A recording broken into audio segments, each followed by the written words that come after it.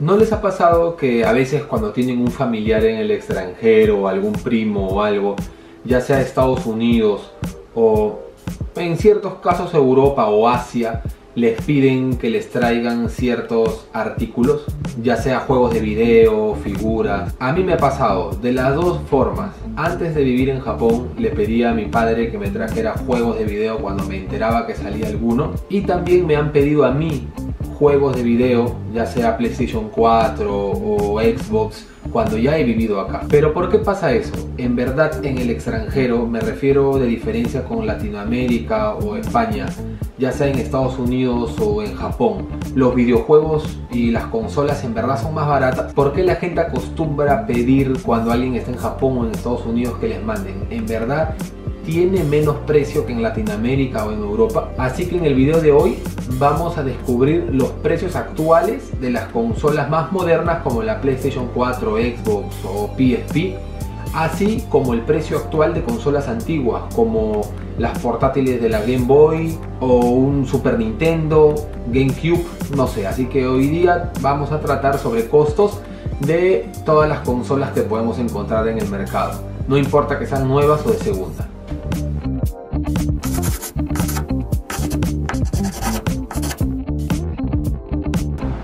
Bueno, ya estamos acá en la primera tienda. Vamos a ir de las consolas más modernas a las más antiguas. Así que vamos por la Switch. Creo que en este lugar podemos encontrar la Switch y quién sabe de repente otra consola moderna. Estamos en el Yamada, que es una tienda de tecnología bastante famosa acá. Digamos que no es una tienda ni cara ni barata, así que el precio debe ser bastante, bastante estándar. Así que vamos a ir dentro de la tienda para ver qué encontramos.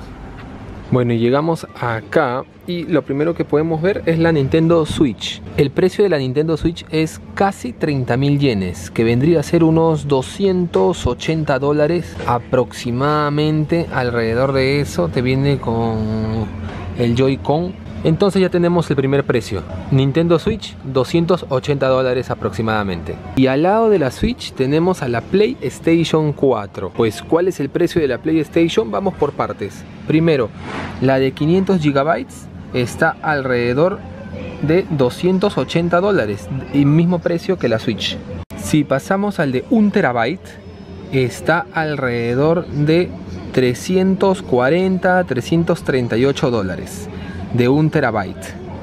Y si nos vamos al PlayStation 4 Pro, que te reproduce todo en 4K y todas las demás cosas, que es esta bestialidad mucho más grande, pues ella está a unos 430, 430 dólares, pongámosle así, 430 dólares aproximadamente. Entonces ya tenemos el precio también de la PlayStation 4. Y para matar tres pájaros de un tiro, también tenemos el New 3DS LL, el XL, ¿no es cierto? En estas tres presentaciones, al menos en esta tienda, no sé en otras tiendas si habrá otra, otro tipo de presentación, otro tipo de colores, pero está alrededor de 170 dólares, más o menos 170 dólares el 3DS LL. Y el 2DS LL que está acá al costado, que sus presentaciones también son un poco más coloridas y tienen algunos con temática de Mario y Pokémon, etc. Está alrededor de 145 dólares aproximadamente. Así que el precio no es tan distante. Para referirme al PSP o PS Vita, ya que el PSP ya no se puede encontrar nuevo, lo relataré yo porque por alguna razón en esta parte del video el audio estuvo fallando bastante. Está de 170 a 175 dólares aproximadamente y está disponible en estos cinco colores. Como lo dije anteriormente, no sé si en otra tienda habrán más colores, aunque lo dudo porque la verdad es que son varios, está bien surtido. Así que estos son los colores que están disponibles y esto es el precio actualmente de la PS Vita.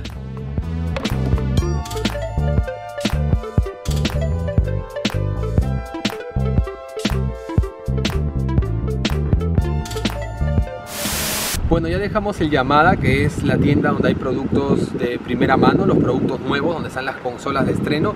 Ahora tenemos que ir a una tienda donde vendan productos de segunda para poder encontrar los juegos más antiguos. Ahora, sé que muchos dirán, Gemu, ¿y dónde está la Xbox One X? en los productos nuevos.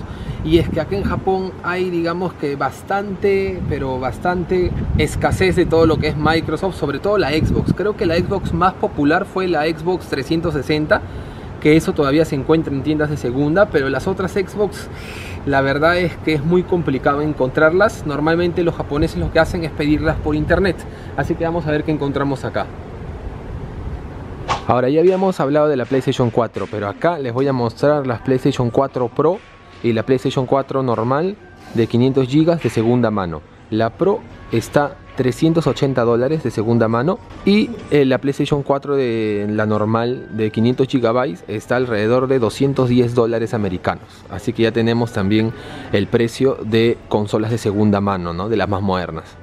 Algo que me llama la atención y mucho es los bajos precios que tienen las consolas de Nintendo pasado un tiempo y ahora les voy a mostrar el por qué. Me refiero a la Nintendo Wii y a la Nintendo Wii U. Acá tenemos una Wii U. No sé, corríjame si me equivoco, pero esta consola es del año 2012. Está con todos sus implementos, todos los cables, absolutamente todo. Y su precio es de 140 dólares. Está seminuevo. En la especificación dice que la caja está aparte. Para mí es un precio bastante accesible para una consola que digamos que, que todavía muchos tienen en casa. Y acá al lado tenemos una Wii U, pero sin cables ni nada. Solamente digamos que la consola en sí. Y el precio es de 52 dólares. Así que los podemos encontrar en dos tipos de presentaciones, ya que los cables se pueden encontrar regados en una zona que está por allá al fondo, atrás de los televisores. Se pueden encontrar muchos cables dispersos, donde tú mismo puedes, digamos que, crear tu propia consola. Ahora, antes de hablar de su hermana menor, la Wii normal, vamos a hablar de la PlayStation 3, que tal vez es la consola que más se puede encontrar en tiendas de segunda, digamos que son las más famosas. Su precio aproximadamente de 70 a 100 dólares americanos. Los puedes encontrar hasta en caja. Miren en esta versión roja del PlayStation 3 está 82 dólares. Así que sí, sí, está bastante bien cuidado está prácticamente nuevo. Eso es lo bueno de los japoneses, creo que saben cuidar bastante bien sus cosas, es por eso que estas tiendas de segunda tienen tanto éxito. Así que PlayStation 3, 82 dólares en caja se puede encontrar. Al lado de la PlayStation 3 está la PlayStation 2 a solo 72 dólares americanos podríamos decirlos. Todos vienen completos con solamente un mando, así que como pueden ver la diferencia de precios no es tanto. Es más, este PlayStation 3 con cables y sin mando está al mismo precio que este PlayStation 2 completo. Digamos que con el pasar de los años los precios se han igualado entre la PlayStation 3 y la PlayStation 2.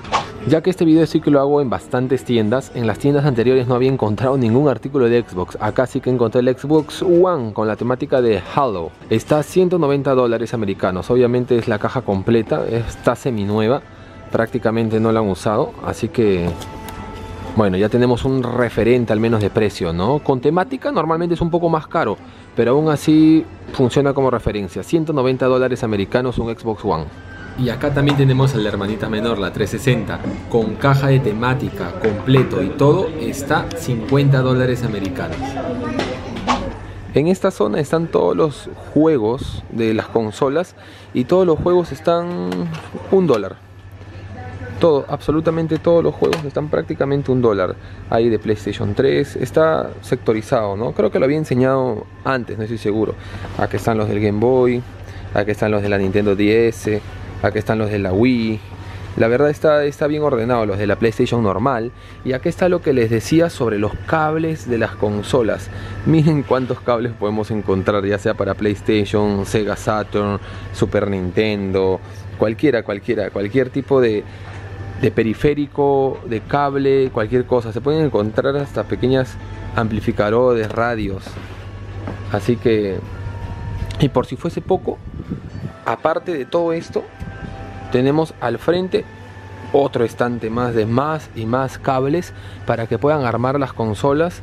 Acá hay periféricos de arma, mandos de PlayStation, no original, pero bueno. Pero también existen originales mandos para la Super Nintendo, la verdad está bastante, bastante curtido todo esto. Y hablando de la Nintendo Wii, esa es la única consola de la Nintendo Wii que pude encontrar y está sin cables. Así que el precio, el precio es de 5 dólares. Ahora, como ya había mencionado, se pueden buscar los cables y se pueden encontrar fácilmente. Así que digamos que no es un impedimento comprarlo, ¿no? La cosa es saber si funciona o no, y eso sí la tienda no se responsabiliza ya que es un objeto de segunda mano. Y muchos de esos objetos, si no están en la vitrina principal, significa que no los han probado. Aunque contando mis experiencias personales, mm, muchos de ellos sí que funcionan. Y aquí tenemos a la Nintendo 64. Es una consola que poco a poco se está convirtiendo de culto. Lo tenemos en este color medio, no sé, verdoso, azulado, mm, transparentón que lo caracterizaba. Y su precio es de 52 dólares. Viene con un solo mando, pero con todos los cables completos creo que le tienen un poco más de consideración que la GameCube, ya que acá no hay ninguna GameCube que esté nueva con los cables completos, solamente podemos encontrar las GameCube que están digamos que en el lugar olvidado y vendiéndolas individualmente sin los cables, así que el cable tienes que buscarlo personalmente tú y darte ese trabajo. Llegamos a la consola que tal vez ha dado más alegrías a muchos de la vieja escuela, que es la PlayStation 1. Tenemos en el modelo Slim, el modelo grande, el, el modelo Fat también se puede encontrar es relativamente fácil encontrarlo, pero completo acá tenemos el modelo Slim. Están exactamente igual, están en las mismas condiciones, ni muy nuevos ni tampoco están hechos basura. Su precio es de 40 dólares, así que está rescatable. Este tipo de consolas que están empaquetadas significa que ya las han probado y están funcionando al 100%, así que no hay riesgo en comprar estas. Ya que estamos hablando de consolas históricas, vamos a una igual de histórica que la PlayStation 1 o capaz más, la Super Nintendo. La Super Nintendo tiene varias presentaciones en bolsa, como la mayoría de consolas, y también las tenemos en caja. Y una caja bastante bien cuidada. Miren esta Super Nintendo, ni siquiera está amarillenta por el paso del tiempo, se ve que la han cuidado bastante bien. Su precio de esta Super Nintendo es de 72 dólares aproximadamente. También tenemos las de bolsa, que también están bastante bien cuidadas. Miren el color, no sé si es que se llegue a apreciar bien por la cámara, pero no se ve ni amarillo los controles ni nada. Esta sí que un poquito más amarillenta y está 52 dólares. Y esta que se ve más nueva está 62 dólares, 10 dolarillos más. Así que este es el precio de la Super Nintendo en Japón actualmente. Y si les pareció interesante ver a una Super Nintendo en su máximo esplendor completa con caja, tener una Nintendo en perfecto estado también creo que es una sorpresa bastante grande. Esta presentación está con dos mandos, todos los cables, su precio 72 dólares, igual que la Super Nintendo. Y estas están un poco más baratas ya que solo vienen con un mando, pero por lo que puedo ver están bastante bien cuidadas. La verdad es que el paso del tiempo no se ha sentido por estas consolas, las han cuidado bastante bien. Acá tenemos un plus, el Mega Drive. 73 dólares en caja, viene completo Obviamente que sin ningún juego, pero encontrar juegos de la Mega Drive es bastante común acá. Y acá un Sega, con dos mandos, todos los cables, 30 dólares. La verdad los juegos de colección no son tan caros, por decirlo de alguna manera, tal vez como en otros países. Muchos habrán estado preguntando sobre las portátiles.